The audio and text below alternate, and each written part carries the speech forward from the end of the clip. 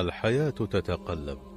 الحياة تنقلب بلحظة بمكالمة هاتفية بنتيجة تحاليل بخطوة خاطئة في الشارع بمقابلة شخص بكلمة بموقف.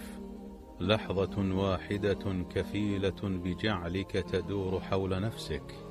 مهما كانت مخططاتك ترتيباتك وتأميناتك. الحياة كل يوم تخبرنا أنه لا يوجد فيها ضمان غير إيمانك بربك حيث لا قوتك ولا علمك ولا فهمك ولا أموالك ستنفعك أمام أي لحظة من هذه اللحظات.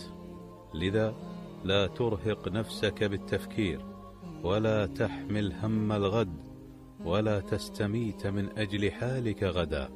لا أحد يعرف ماذا تحمل معها اللحظات القادمة فأرح بالك.